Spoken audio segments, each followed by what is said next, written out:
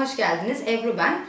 Birinci videomda Lviv'i çekmiştim. Bugünse Rovaniemi şehrini benden dinleyeceksiniz. Umarım siz de burayı benim kadar beğenirsiniz.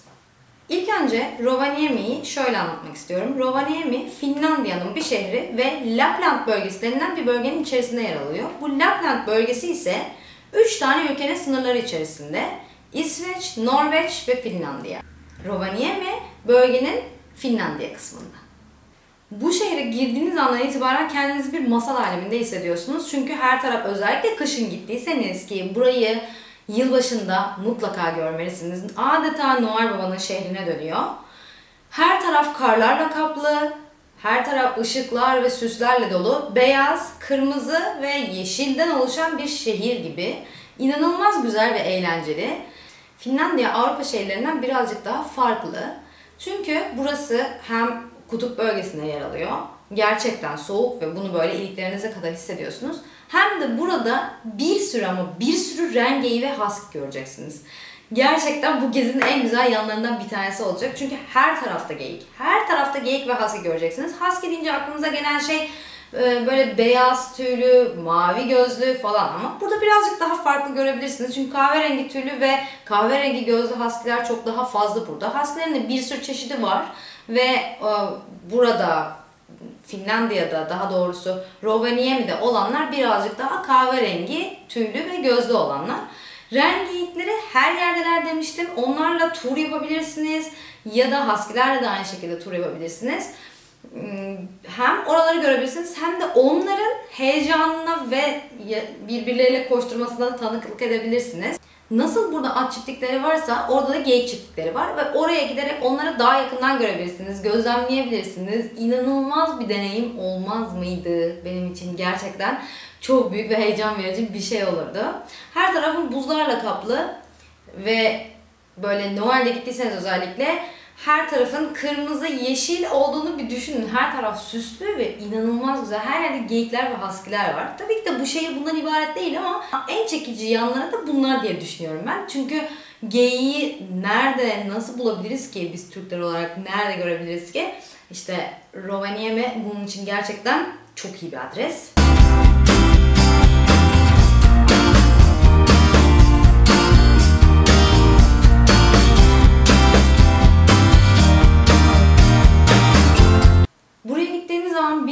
Hediyelik eşyalar alabilirsiniz. Çünkü sadece oraya özel çok güzel şeyler var. Mesela bir sürü geyikler olduğu için geyiklerin de her sene boynuzlarının düşme zamanı oluyormuş.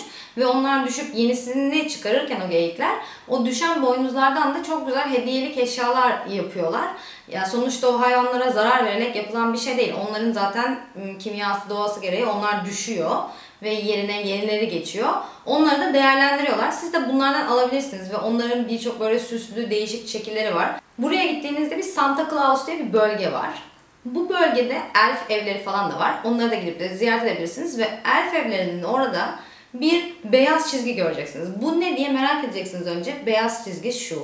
Bu beyaz çizgi kuzey kutup çizgisi ve inanılmaz bir anı bence. Düşünsenize bir zamanlar kuzey kutup çizgisine ben bastım, ayak bastım diyebilirsiniz. Oradan böyle pullar falan var. Onlardan alıyorsunuz. Yapıştırabilirsiniz. Oradaki information ofislerinden de alabilirsiniz. Bu pulla da bu anıyı ölümsüzleştirebilirsiniz. Ben bir zamanlar Kuzey Kutup çizgisine ayak basmış insanım diye. Çok güzel olmaz mıydı? Ben böyle düşündükçe gerçekten hayaller kuruyorum. Süper olurdu.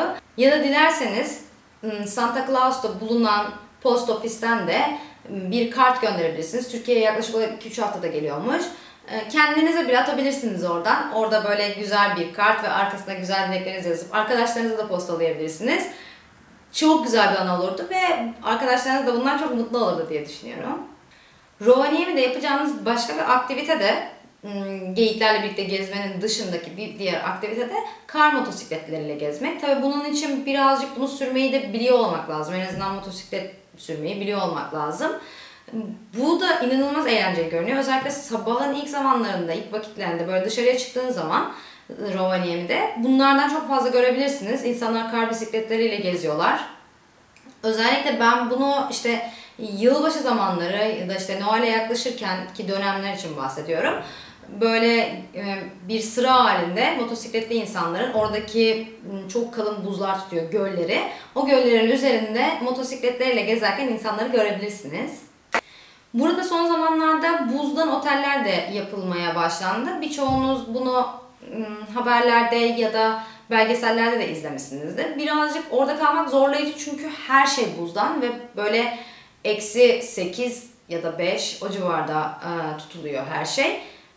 Ve gerçekten çok üşüyorsunuz. Tuvaletler birazcık uzak olabiliyor. Yani orada kalmak birazcık sıkıntı doğurabilir ama müze gibi gezip görmek, her şeyin nasıl buzdan olduğunu ve nasıl işlediğini görmek eğlenceli olur diye düşünüyorum. Burada görebileceğiniz bir diğer noktada Ranoa Hayvanat Bahçesi. 73 kilometre kadar şehrin dışında olan bu hayvanat bahçesine gittiğinizde zaten ben gerçekten kendimi düşünemiyorum. Bir sürü panda, kutup ayısı ve ren geyiklerinin bir sürü çeşidi. Böyle baktıkça insan gerçekten böyle huzur bulacakmış gibi geliyor.